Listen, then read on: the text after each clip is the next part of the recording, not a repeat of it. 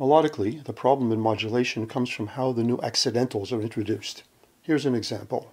Here the new key arrives in the second beat of measure 2. It's quite abrupt, first because the new note, F sharp, arrives by a tritone leap in the soprano, which up to that point has been very conjunct. Also, the chord just before the new key contains a double F, and that is the note about to change.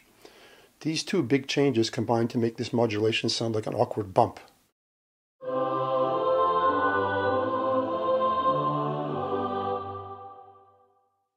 Here's a different version of the same modulation. Here the F sharp arrives conjunctly as the resolution of a suspension, G in the top part. The suspension draws attention to the fact that something significant is about to happen, and when it does happen, it's smoothly approached and left. In addition, neither of the two chords preceding the F sharp contains the conflicting F. The result is much smoother.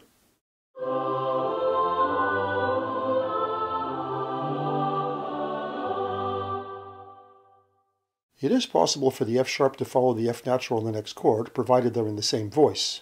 This modulation is a bit more intense than the preceding one, but the smooth voice leading makes it seem logical.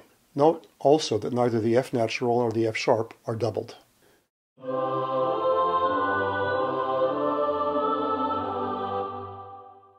For a smooth transition, the best way to introduce the new accidentals is with the most conjunct voice leading possible, one at a time. Avoid changing several accidentals at the same time within one chord. Again, let's compare two examples. Now modulating from G major to B minor. Since this is a modulation to a minor key, there are two accidentals here that must change.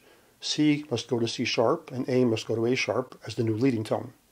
Here, the second chord of measure 2 introduces both the A sharp and the C sharp at the same time. The effect is rather sudden, despite the relatively smooth voice leading.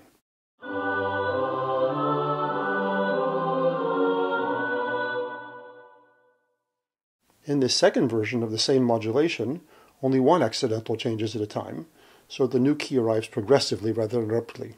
The fact that there are three common tones between the chord at the end of measure 1 and the chord at the start of measure 2 makes the change even smoother.